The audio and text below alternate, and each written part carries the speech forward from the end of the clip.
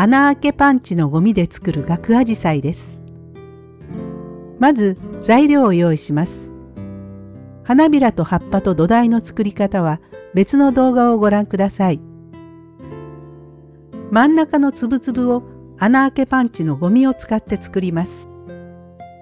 穴を開けた後の丸い粒はゴミ受けに溜まっていますからこれをナイロン袋に移します。塊を潰すように振ったり揉んだりしたらカラースプレーを吹きかけます。ここでは紫色を使っていますがピンクや水色黄緑色なども綺麗でしょう。スプレーを吹きかけたら袋をよく振って色をなじませます。全体にほんのり色がつくまでこれを何度か繰り返します。色がついたら紙の上などに広げてしっかりと乾かします。乾いたら土台に貼っていきます。刷毛にたっぷりつけたでんぷんのりを土台の上に乗せるようにして優しく塗っていきます。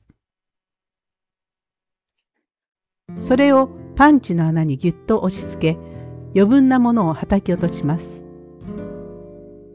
周りは1センチほど残してのり付けした方が後で花が張りやすいです。土台の周りにボンドで花びらをつけていきます。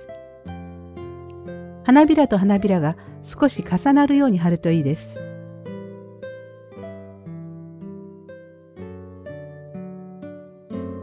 花びらの真ん中に楊枝や綿棒の先を使って木工用ボンドをつけていきます。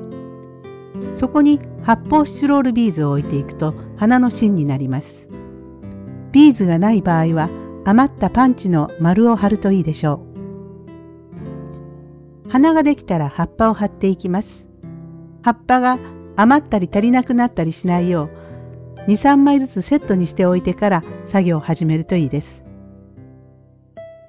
葉っぱの根元にボンドをつけ全体のバランスを見ながら鼻の下に差し込むようにして貼り付けます。ボンドが乾けば出来上がりです。雨やカエル、カタツムリなど6月らしいものと一緒に組み合わせて飾りましょう。